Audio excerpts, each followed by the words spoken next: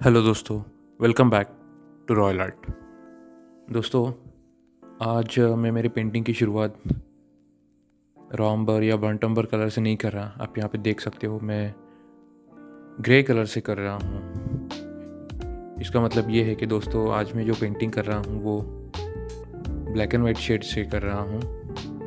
मैं मेरे लाइफ में ऐसा फ़र्स्ट टाइम कर रहा हूँ कि एक्रेलिक कलर से कोई पेंटिंग और उसके लिए मैं सिर्फ़ ब्लैक और वाइट शेड यूज़ कर रहा हूँ। दोस्तों, ये इतना आसान नहीं होता, क्योंकि अगर आप कलर में पोर्ट्रेट करते हो तो उसमें आप बहुत सारे शेड ऐड करते हो स्किन टोन के लिए। लेकिन ब्लैक एंड वाइट में अगर आप कर रहे हो तो उसमें टिन टोन शेड ये लाना बहुत ज़रूरी है, जिसकी वजह से आपके पोर्ट्रेट पेंटिंग में राउंडिटी आ सके तो ये बहुत ज़रूरी चीज़ है दोस्तों। और मैं ये कोशिश कर रहा हूँ कि जो ब्लैक एंड वाइट इमेज मैंने, जो रेफरेंस मैंने चूज़ किया है इस पेंटिंग के लिए, उसको मैं अच्छे से करूँ। दोस्तों, जैसे ही मैंने शुरुआत की ब्लैक एंड वाइट कलर से कैमल का ग्रे शेड मैंने लिया और उसमें थोड़ा सा ब्लैक और कई जगह पे वाइट ऐड किया। तो शुरुआत करने के बाद मुझे रियलाइज़ हुआ कि ये जो पेंटिंग है, ये थोड़ा सा जैसे कि आप सीमेंट का कोई स्कल्पचर रहता है, उसका जैसे लुक आता है, वैसे आ रहा था। इसीलिए मैंने कई जगह पे हल्का सा येलो ऑकर या पर्पल कलर ऐड किया। ताकि वो proper black and white photo जैसे रहता है, वैसे लगे इसके लिए।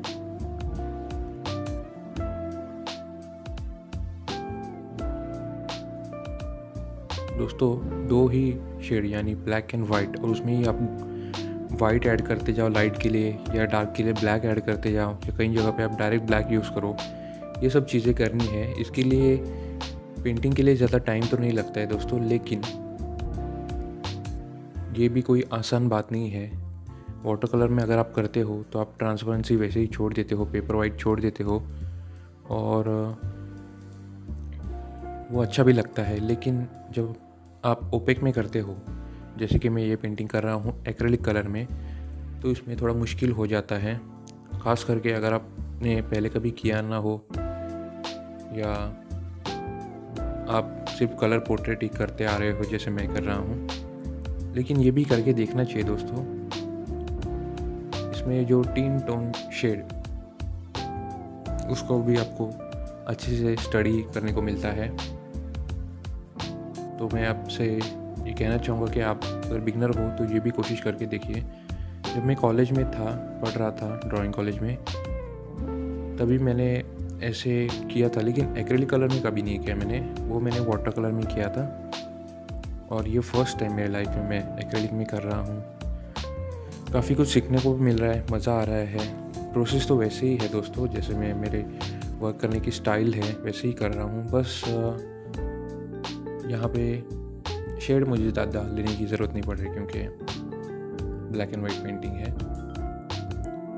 दोस्तों, अगर आप बिगनर हो, आपकी शुरुआत मतलब जर्नी अभी स्टार्ट हुई हो तो आप ये सब चीज़ें करके देखिए, हर एक मीडियम में आप वर्क करके देखिए अलग अलग कोशिश कीजिए करने की पेंटिंग और उससे आपको बहुत कुछ सीखने को मिलेगा, ताकि फ्यूचर में जाके ऐसा ना हो कि आपको सिर्फ़ एक ही मीडियम या एक ही तरीके का वर्क आता है।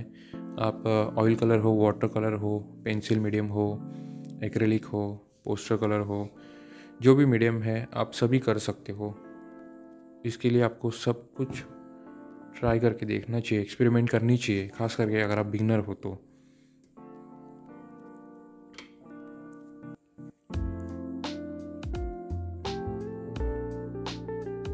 यहाँ पे मैंने गोल्डन कलर यूज़ किया दोस्तों, और बैकग्राउंड में आप देख सकते हो ब्राउन कलर और ये जो बिंदी है रेड कलर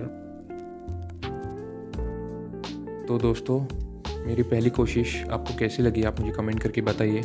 और अगर आप मेरे वीडियोस को अच्छे से देख रहे हो और अगर आपको पसंद आ रहे हो तो लाइक करना मत भूलिए।